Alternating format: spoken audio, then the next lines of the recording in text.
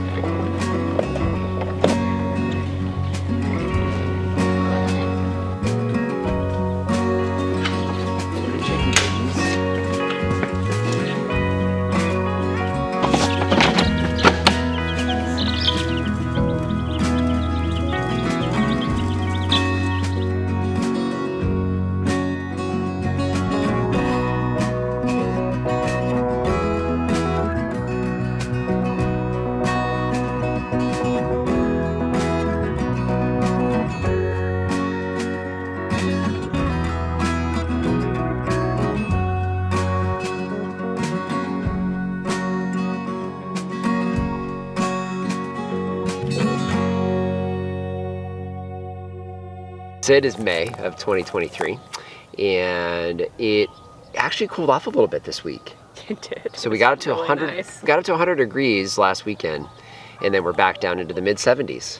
Mm-hmm. So it's beautiful. You got a couple things done this week. So actually more new arrivals. Yes, we got our new layers in that we ordered.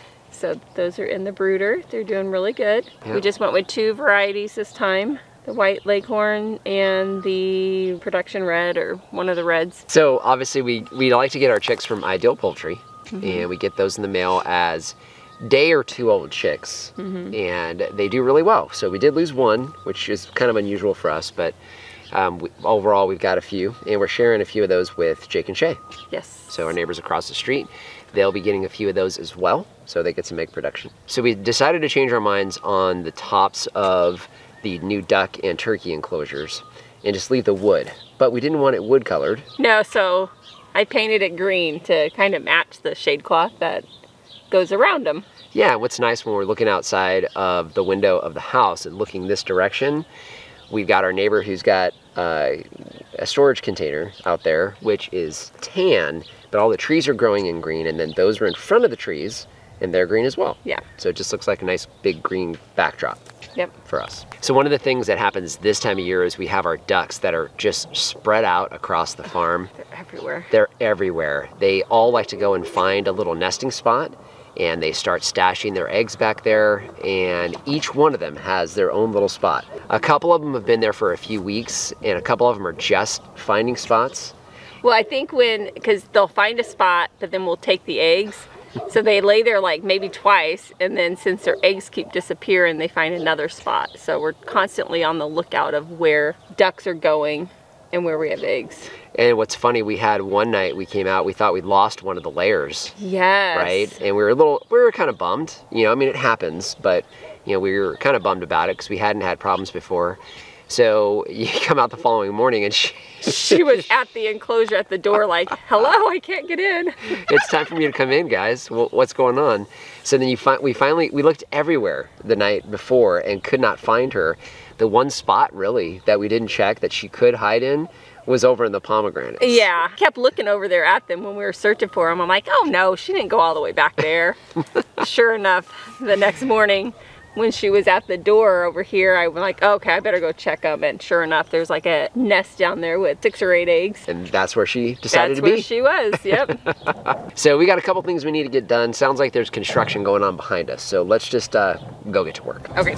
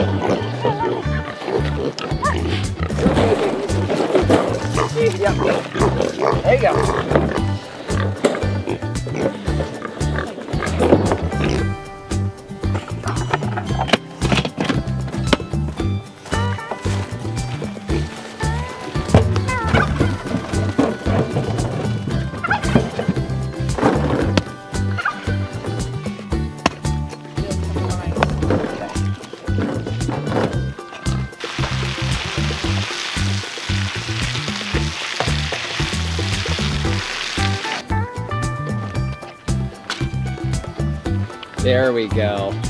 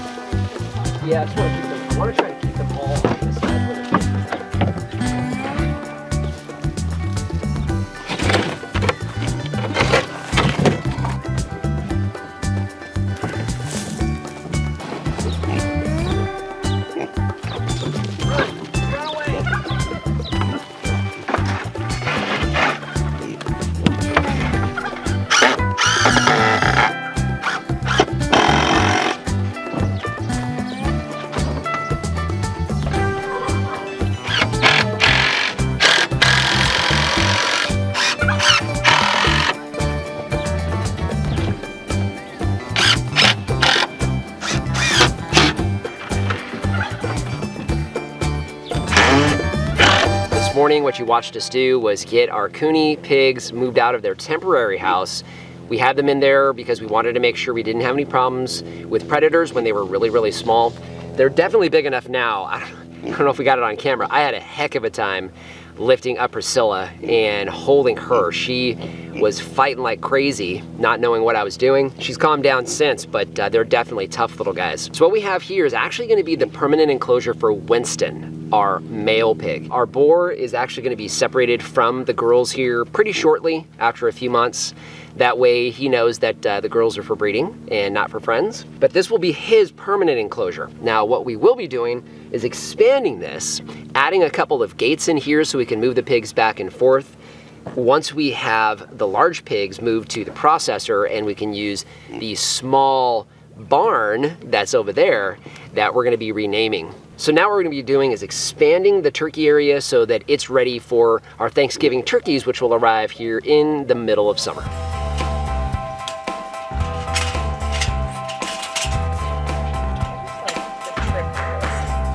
You gotta get kind of up on the area where it connects. They work great to hold things in place. Getting Yeah. off sucks. Yeah.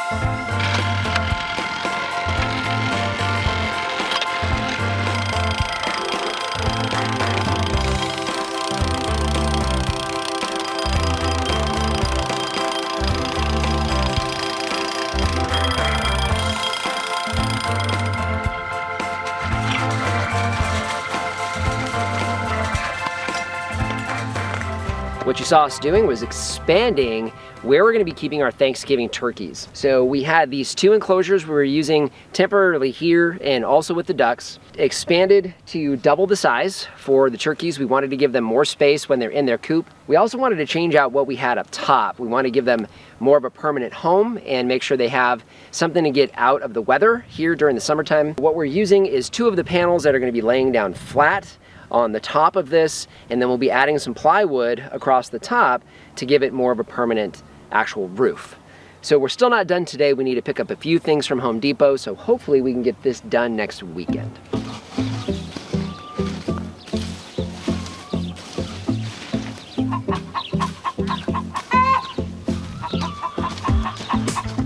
Tell me,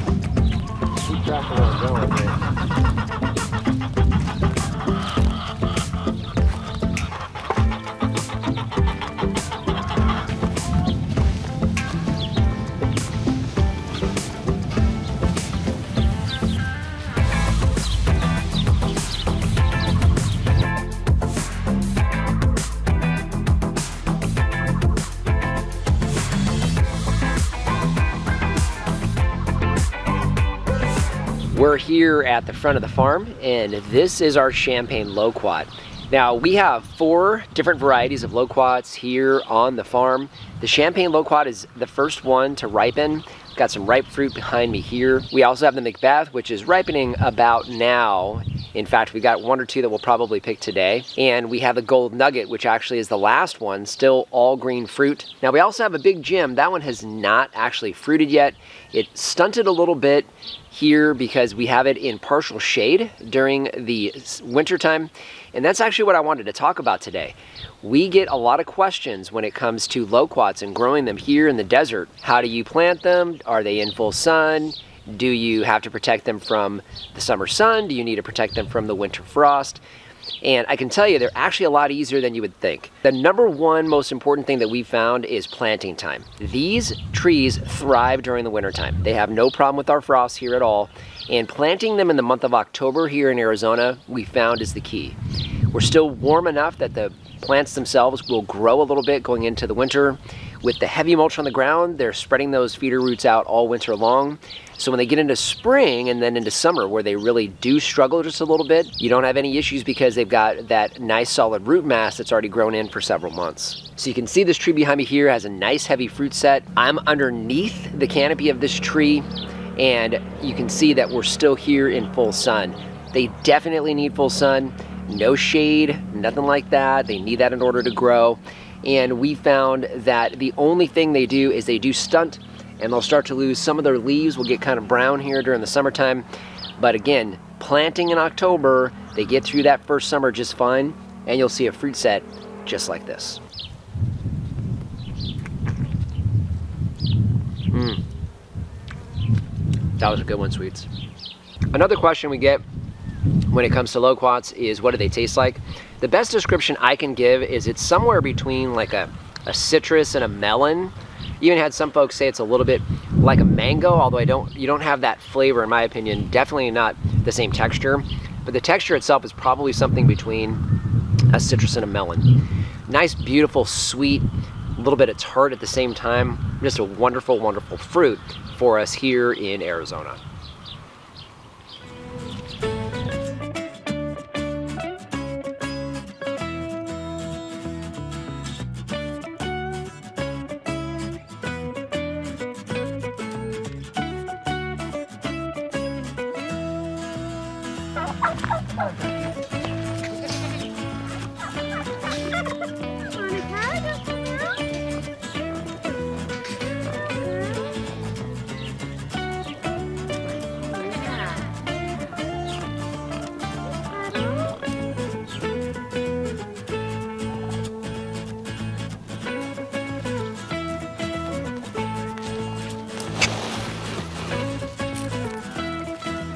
So we got another day on the farm today. It's early morning, Sunday. We actually had the turkeys out for the first time. Tried to. Tried to. And the girls were all like, uh, I don't think so. Yeah.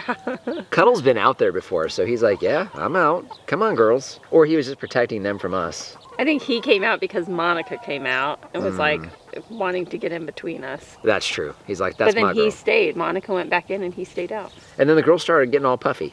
Yeah, it was weird. It was weird. But they're still in there see. now. We'll So see. They can wander. Oh no, Ebony looks Oh, like Ebony came out. out. Yep. So it'll be cool to have them out on the farm with the ducks. Yeah, Kind of wander a little bit. They're not as destructive as the chickens. yeah. But the, the chickens are behind us. They got 6,000 square feet of green pasture. They're So- good. So, we're also going to test something out with sunflower seeds. And Dan, thank you. Uh, he's last name namesake uh, Yeah. of ours, but he gifted us with a one of those full-size sunflowers. I don't remember the type, but he had those growing. We had a head that we saved from last year.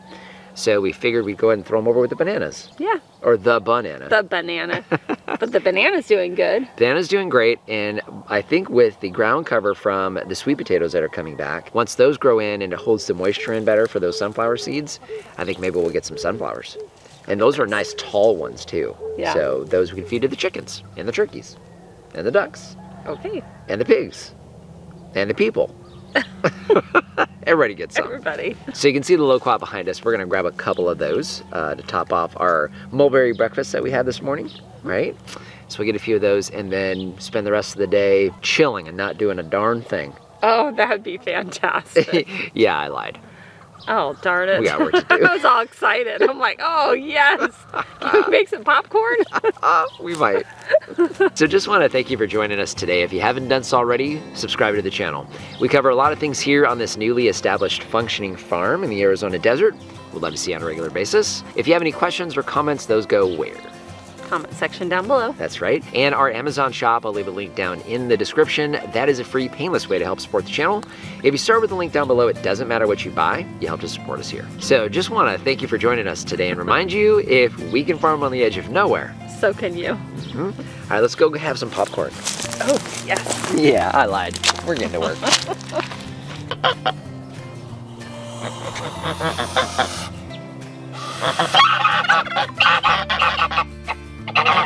I think Wilma's laying in the thing again.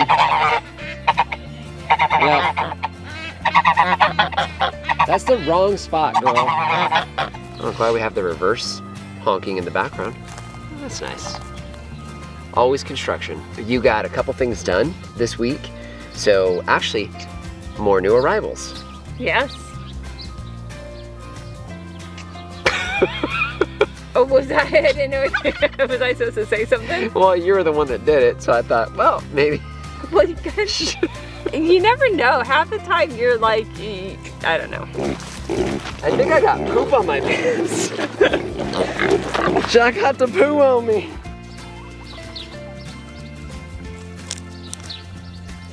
You don't know what to say. I'm just gonna let you do this one. What? I'm just gonna let you do this one. Do you do this one? Do this one. Do the closing. Wrap it up. Wrap it up. Let's do it. Go.